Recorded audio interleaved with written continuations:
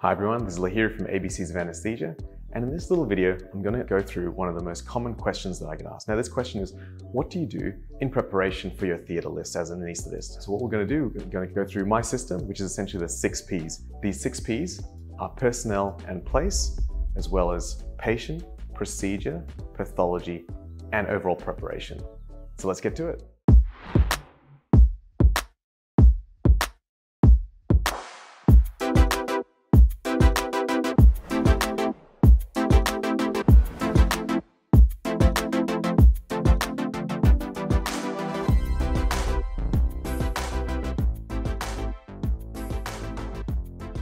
Now, the first thing is, as a junior doctor and a junior anesthetist, you really want to get hang of the ropes. So I would always come in early, like literally for most of my career, I'd come in 15 minutes early to make sure that I could go through all these six Ps. Now, the first two are quite easy. You want to know that you've got the right personnel and, you, and you're familiar with the environment, which you generally will be because you'll get an orientation. So I don't worry too much about personnel in place unless I'm going to a new hospital altogether. The next few things, the next four Ps are very important and apply every day. And these are patient, procedure, and pathology, as well as overall preparation. So with patient, it's really easy. Even before the patient arrives, I want to make sure that I'm there early and I can review the medical records. And often this is looking at the EMR or the electronic medical record or looking at the paper record and just filling out an anesthetic chart. That way I've got an idea of exactly what's going to happen and at least an overall idea of how this patient might be before I actually talk to the patient. So that's the first thing. And that's, that's pretty straightforward. Just requires a bit of diligence and you can look at my website, anesthesiacollective.com, for a few different patient assessment proformas. The next thing is pathology. So again, the night before, even in the morning of your list, make sure you know what's going on. So sometimes it's going to be something really straightforward, such as a lap chole. You don't really need to do too much research into this, but let's say you're going to be doing a liver resection for some carcinoid tumor or some other you know, weird pathology, you want to be sure that you've got all of that covered, that you've read the notes, you've read the latest review articles. For example, one of the greatest resources I found was the British Journal of Anesthesia Education Series, and they go through some amazing, very focused articles on all the specific pathologies that anesthetists really need to worry about. And this includes everything from you know, thyroid to pheochromocytomas, maybe medical conditions like rheumatoid arthritis, or other different types of procedures like liver operations, AAA repairs, or any other you know, advanced or subspecialty anesthetic cases. Now let's talk about procedure. Again, once you get used to the day in, day out of most surgeries, you'll be very familiar with what a lap chole needs or what an inguinal hernia repair needs from an anesthetic point of view. But as soon as I see the surgeon or the surgical registrar, I always have a conversation with them. And what this means is I ask them all the common things. How long is this going to take? Is there any expected blood loss? What antibiotics do you need? Do you need DVT prophylaxis? And do you need anything else special? For example, where do you want to position the arms? This has a lot to do with where I'm going to put the drip for the case. Now you'll get very comfortable with asking these questions, and I think it's a really great thing to you know, have a conversation with the surgeon. You know, that way you get to have a chat with them before something crazy happens, and you just get into conversational mode so that you can get a lot of useful information really quickly. So the things I want to know about the procedure, the duration, any expected blood loss, where is the surgeon expected to position the patient, especially are the arms out or are they in, as well as do you need antibiotic prophylaxis, DVT prophylaxis, and then there's always some particular special instruments or gadgets that the surgeon might need. For example, ENT surgery or airway surgery, you might want to ask, what airway specifically do you need? Um, do you need a throat pack? Do you need a special neuromuscular monitoring tube, such as a NIM tube for thyroid surgery? Or maybe you're expecting a lot of blood loss and do you think a cell save might be appropriate? There's a lot of other nuances to this and that's for definitely advanced level training. But at the very start, I have a conversation with the surgeon about their needs. Finally, there's overall preparation.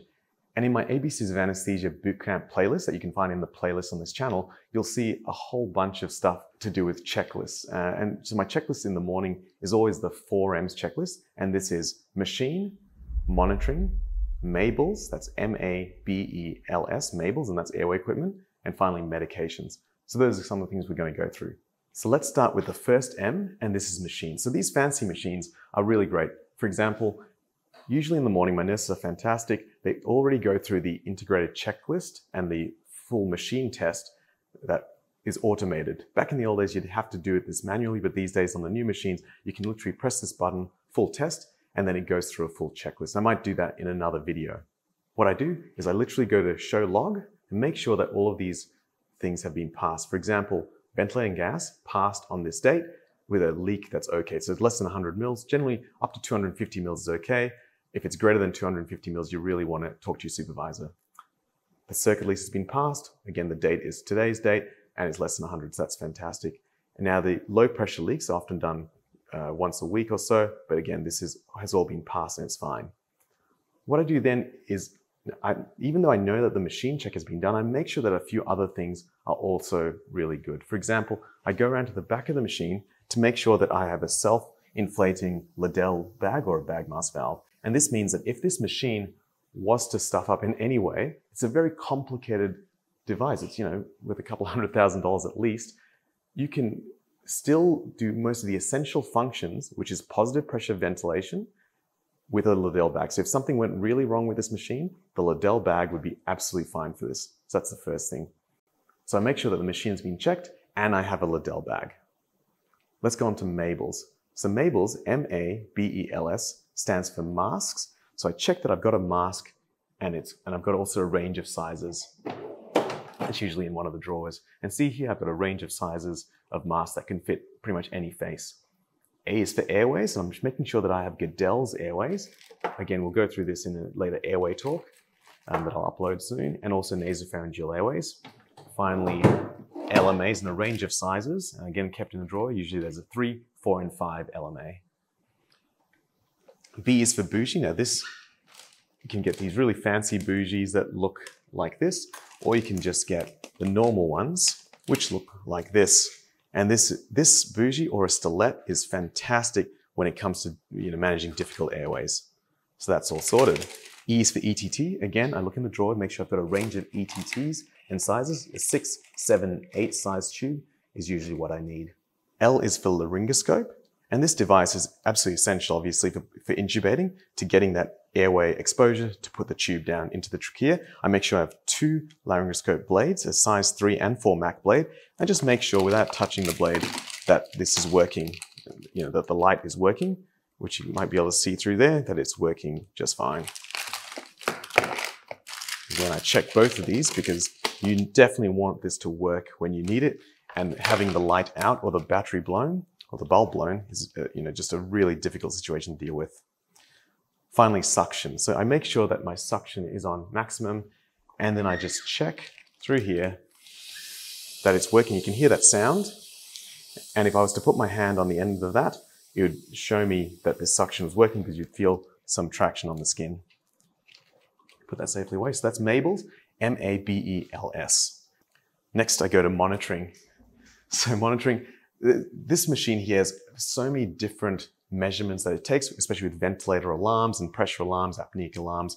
But really the essential things I need in any situation are a SATS probe, a blood pressure cuff, an ECG, and end-tidal CO2. So if I look over here in this particular machine, here I've got a SATS probe, here I've got the blood pressure tubing and a cuff will be present, and then I've got the ECG leads here, and finally end-tidal CO2 is already attached to my mask, and that then leads up this wire through some sidearm sampling all the way to this connection over here.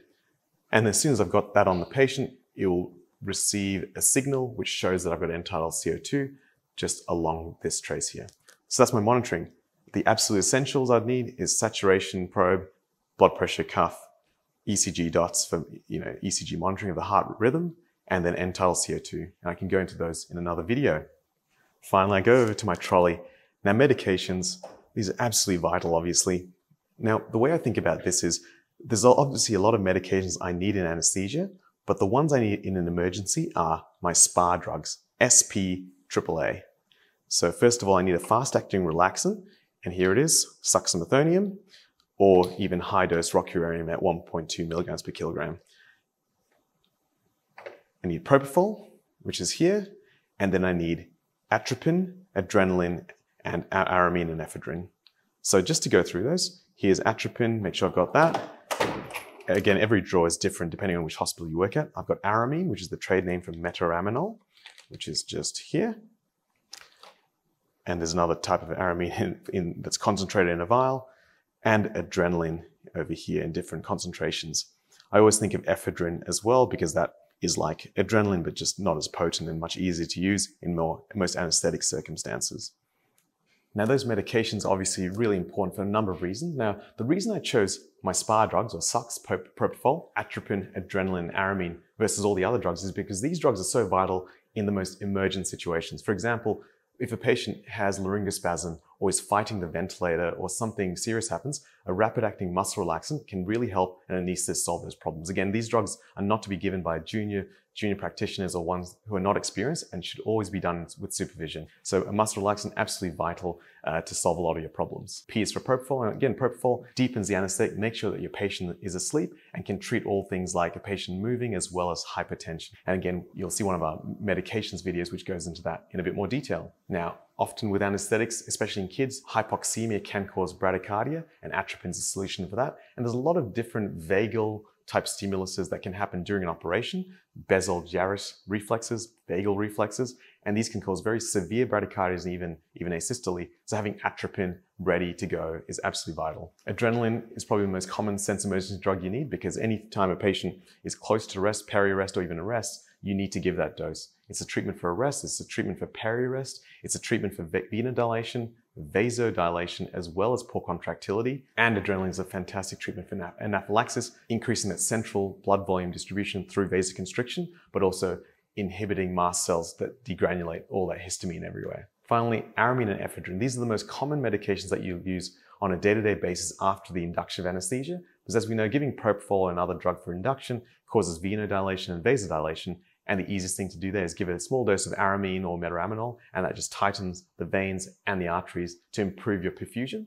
Likewise, occasionally, sometimes your patient just doesn't have great contractility. Maybe you've, you've given some medications, some beta blockers, or maybe the induction itself has caused the heart just not, just not to function as well.